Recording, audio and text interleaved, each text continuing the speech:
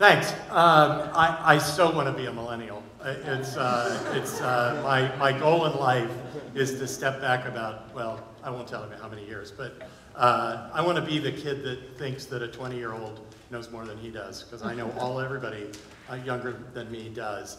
Um, I think it's really interesting that um, this conference is really about um, kind of one idea, and uh, it's about human-centered um, workplace. And every speaker that you've heard up here today that I witnessed talked about this idea of being connected to, um, to the humanity in the, in the workplace, rather than worrying uh, about the furniture. It is about the people in the process. Now, I'm, um, I, I want to tell you a little bit more about me before, before I go into this. I'm an industrial designer by training. Uh, when I was growing up and uh, uh, beginning to go to school, I wanted to work in the Charles Eames office. And so as I graduated from uh, college, I drove across country to, with a friend of mine to interview and to be, to try to become a designer in the Charles Eames office. Uh, and um, I didn't get the job. Um, so part of that logic is that um, many years later, I uh, had the opportunity to uh, come to work at Herman Miller, and uh, needless to say, that was an easy decision for me because of the legacy of people like uh, uh, Charles Eames. There's a, there's a connection to what they do uh, as a company. Herman Miller is a company that believes in deep understanding of, of people-centered design. And I want to thank Jerry, actually. It's very rare, I'll, and I'll uh, sort of say this out loud. It's rare that one furniture company gives another furniture company credit for something. And uh, so I, i want to thank Jerry, and I, I'm not sure whether he's still here, but thank you for talking about the Aeron chair because it is a, um, it's, it's iconographic for a way of change that happened at Herman Miller when, when it was launched and continues to go on today.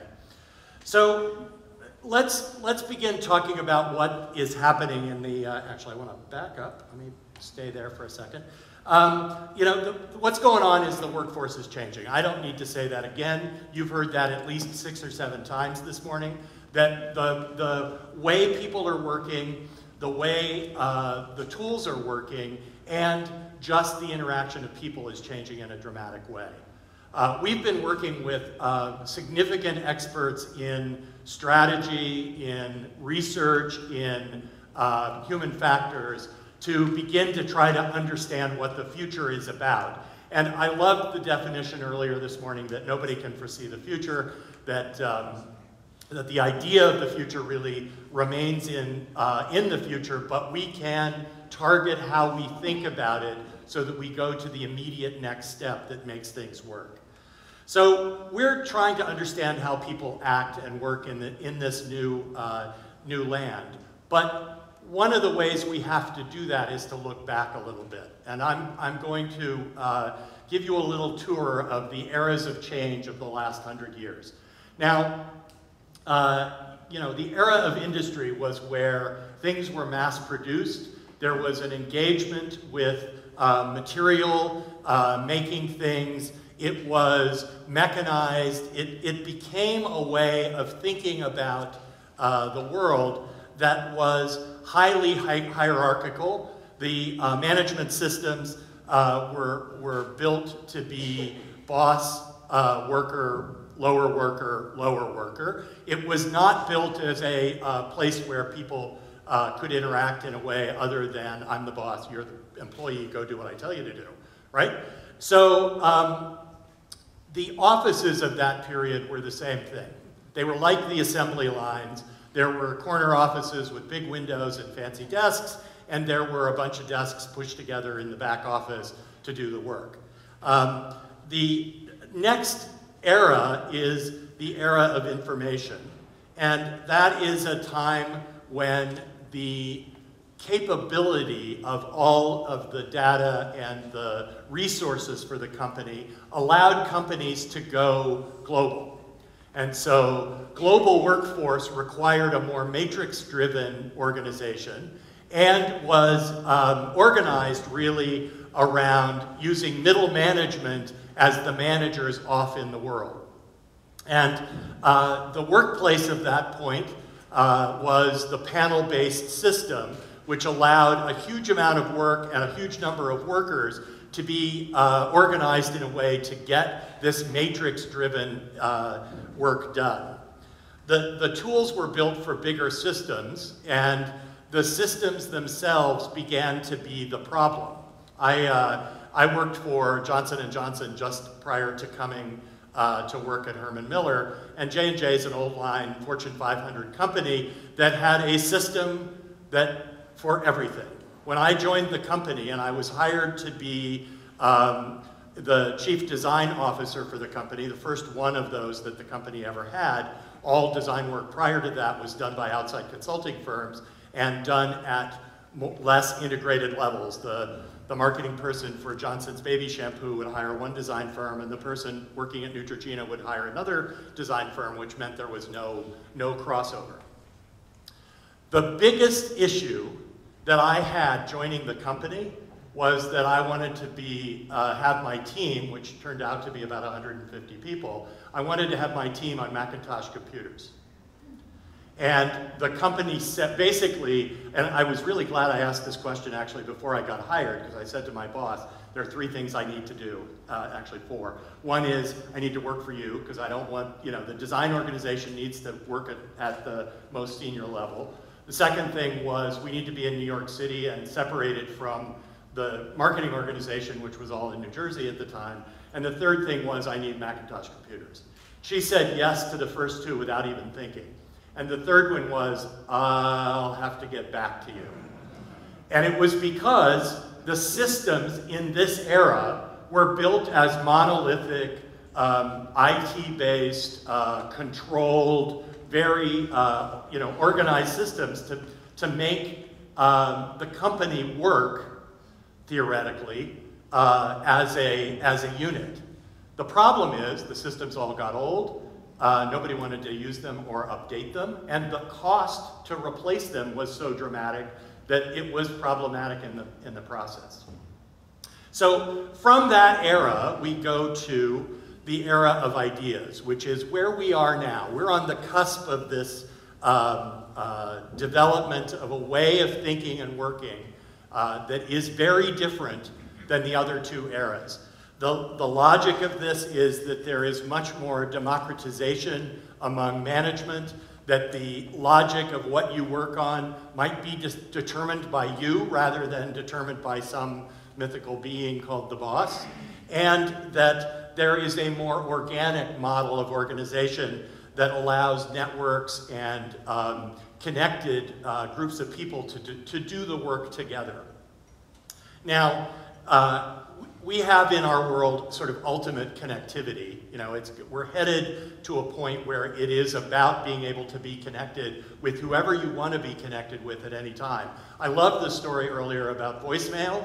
That is so, I, my, when I change jobs, I don't even have a phone that is tied to Herman Miller. And I'll tell you a little more about that in a minute. But the idea that um, people are networked in a very different way is is what's going on. And it is only going to get uh, significantly more interesting. And I say that both from a good point of view and a, and a maybe not so good point of view. But we are, it, the world is getting more interesting in terms of how that, uh, how that works. No one has to work in a discrete location. And I'm a perfect example of that. I lived for a long time in New York City. I worked for Johnson & Johnson there. I made a decision that I wanted to live in LA, and then hap happened to have a conversation with Ben Watson, who's my boss, who lives in New York, that I was in, that you know that maybe it would be interesting to to come work for for Herman Miller. But I said to him, I'm not going to. I'm not staying in New York. I'm moving to Los Angeles. Would that be okay with Herman Miller? And again, very quickly, yes, that's no problem because we're everywhere, and in fact, we need influence from different places. So I live in LA.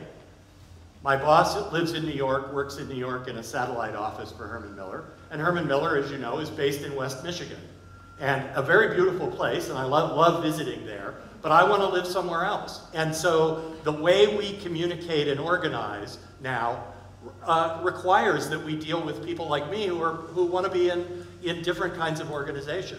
We need to go from this kind of work, which is kind of, this is sort of funny picture because it's clearly bakers at Nabisco or something, but it's this idea of kind of mechanized, uh, you know, root, routinized kind of work. We need to go from that to this, which is much messier, uh, kind of more interesting in, in the way it's done, and driven by uh, the idea that collaboration is the way work gets done, and the way innovation gets done is with, is with this kind of collaboration.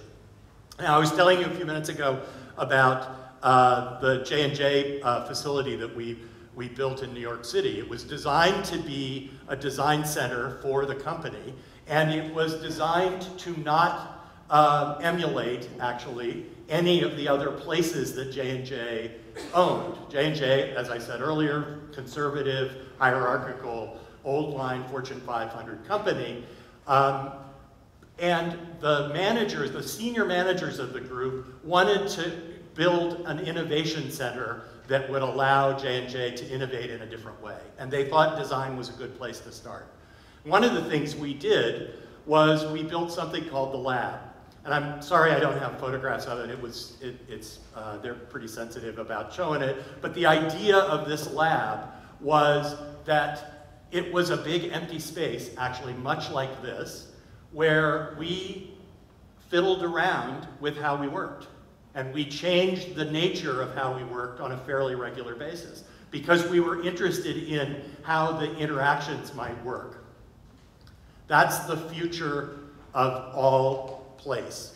It is going to be about this idea of uh, making changes to suit what people need to do, to be about how they think and how they work together, and to change the, the logic of, um, of what their uh, particular work is about.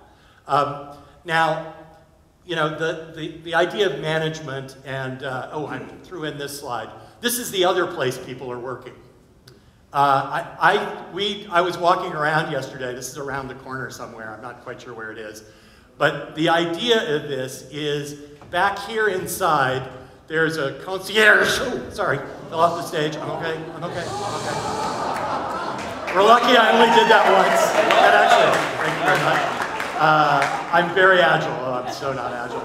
Um, I'm so excited about this workplace thing. Uh, so what's interesting, there's a concierge in the back.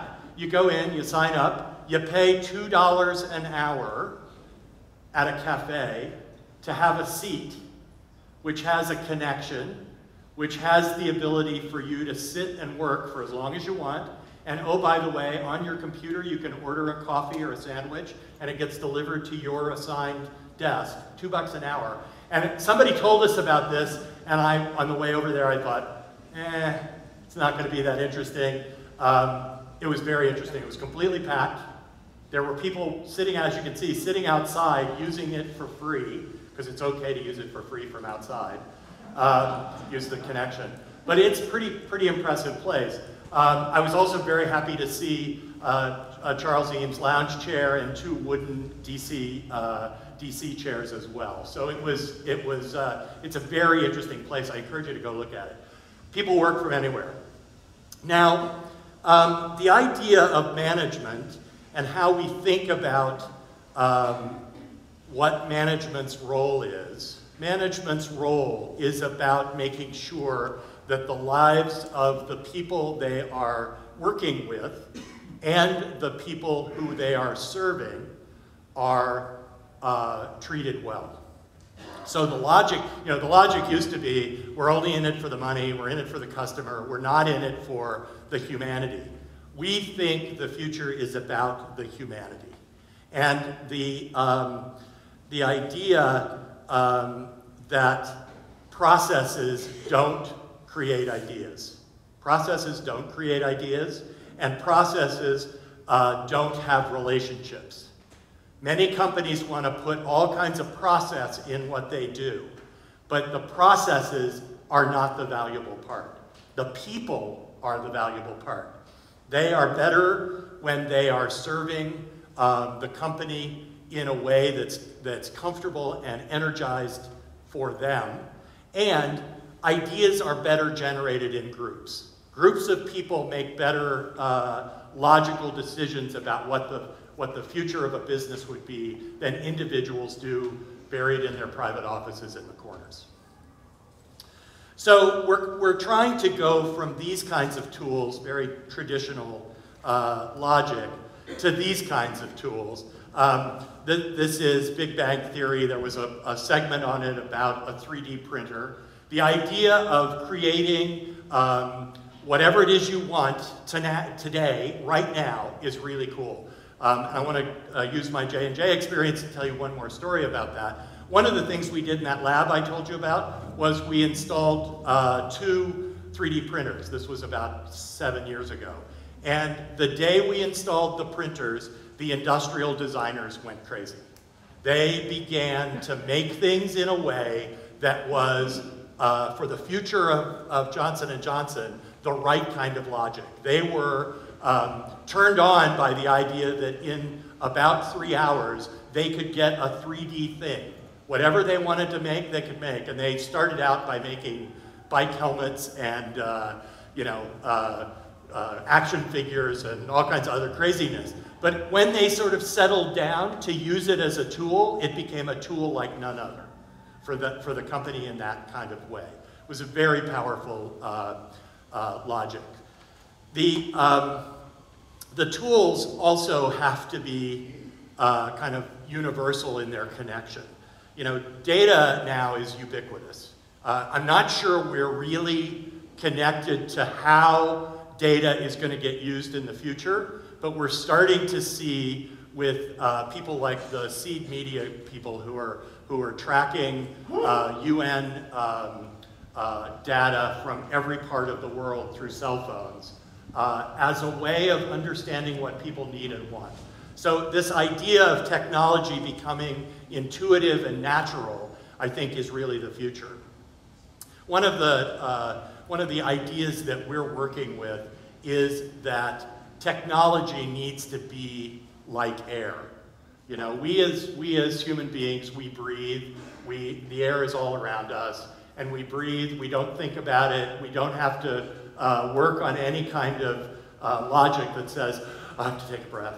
Okay, I have to take another breath. It all is just there. Technology needs to be like air. It needs to just be there. It needs to connect when you walk in the room. It needs to be uh, about uh, how you are and how you work. Not that, oh my God, I can't figure out how to plug this in and do, do this and make it work. It needs to be ubiquitous. Now, um, we need to go from these kinds of places, uh, and you know we're guilty a little bit of uh, of having um, made these kind of places. We take responsibility. We're, we're trying to we're working to make that better with all of you, uh, but we need to go to these kinds of places. This is um, the coffee bar at the Design Yard at Herman Miller, and this is not a staged photograph where we said, okay, you sit over at that table and you sit at the coffee bar with your computer and you guys talk in the back about some idea. This is how Herman Miller leadership now works. There are, uh, the, the entire space has been redesigned to make it a living office in a way that makes it functional for everybody. And oh, by the way, when it doesn't function, we change it. And that's kind of the journey we're on to make sure that we're thinking about how offices ought to work. So the, the, um, the logic of this is that working for a company doesn't require that you sit at a desk and look at a computer screen and not interact with anybody else. Interaction is key to what people need to do in their, in their workplace and in their lives. Now, the, um, the, the next part of this really is about making, and I, I'm, I'm going to use this word advisedly, but I think there is a connection to the way people want to work now. And that is that there's a spiritual connection, uh, not necessarily to uh, the kind of uh, overarching spiritual idea, but the idea of spirit in me and the way I work with people. That is the idea of what workplace needs to mean to people. And we have to have a naturally human experience. You know, it was interesting to hear the, the uh, discussion about the animation studio earlier, where the worry was, oh my God, we have this film, it's going to take us five years to make it, and we're spending 100, uh, 250 million bucks, and somebody's going to leave in the middle of it, and we're to, you know, it's going to be a disaster. The way to make that happen is what they're doing, which is to make people comfortable and enjoy their lives together in, in the logic of what they do. I want to talk about this uh, idea of prosperity for a second. We've developed this logic around the engine of prosperity, which is about the kind of um, connection between the individual and the group. That if that is in balance, that makes sense. Um, the, the son of the founder of Herman Miller uh, once said that places of realized potential, he talked about places of realized potential. And he wanted to understand the passion and uh, purpose of the individual, passion and purpose of the individual, and apply it and align it to the organizational pur purpose. So by doing that, one gets people working on things that have their passion and that are engaged in what they do for the business itself. The, the vertical axis of this is about, of course, every company wants to make money. They need to make money in order to survive. And uh, there's a logic about that that makes sense. Now, when one engages the heart and the uh, enthusiasm of the people at work, you automatically end up with a profit-making uh, logic is, is the way this works. DJ De Pree, who was the founder of Herman Miller, uh, once said that uh, you should not start with the financial goals of the business, but start with the true problem and the real need. So again, putting your heart into what it is that the company is about and having people as individuals and as groups connect to each other to make the process work, you end up with a profitable business. So the, the, the, we, we believe that that's a, a strong, thoughtful way to think about what work is about. Now, no one size fits all. You know, no solutions that are off the shelf actually work uh, directly as they, as they come out of the box. And what we need to strive for are optimal workplace solutions that, um, that come from the individuals who are doing the work. We believe that analyzing how people think about their job, about their company, about the work, is all about the connectedness of the individual to the business and being sure that we're really making sure that the, um, that the place can help make that a powerful equation. So um, the next big, uh, next big thing isn't for you is a way of us describing, listen, we're not here to present a solution, we're here to present a way of thinking about this for the, for the future. Now, one of the ways we're doing that is we're talking about modes of work. And uh, we have concluded that there are 10 modes of work, that these are, um, the three of them are solitary work, and seven of them are connected work. Now, uh, by the way, so you're, you do not have to write all this down. There's, there are a couple of, uh, there's a magazine back in the back that describes this. Please take one and it'll give you the, the logic of this a little bit deeper. But the idea is that these settings uh, in the context of the kind of work and development that we talked about a few minutes ago will make things happen within companies. So one of the ones that's on here is warm up, cool down, which is kind of logical that before a big meeting, you get together and you warm up, you, get, you decide who's going to say what, and there's a logic. What if that were a place and a setting within the context of the office that allowed you to do that in a way that really made it make sense. And on the other hand, cool down is the time after the meeting where you dissect what did he really mean when he said that? What is the logic of where we're going? Who's got the next step? What's it about? So that's, that's what those are about. Those are connected then to settings, and I'm not going to go into a lot of detail on this, but the settings are the individual kinds of workplaces that relate to those modes of work. And we, um, and I am so not going to go into this because you're really not going to be able to see it, but the idea is that there's a transition from current ways of organizing offices. So on here, the green represents havens or private offices, and the brown over on the other side represents um, uh, hives or places where multiple group, you know, groups with multiple people are uh, accomplishing their work. So the logic is if you analyze how your work is going, you might organize to go that way. Um, I'm going to wrap up here by, uh, by saying living beats dying, which I think is a given. Uh, but, uh, you know, we're on a journey, and uh, we are trying to work towards the alignment of the people who work in companies with the way they work in the spaces they work. And that alignment, we think, is the key to making uh, powerful uh, decisions about motivation, creation, and interaction. We want to harness this power of individual passion and shared purpose to foster the future. Thank you very much.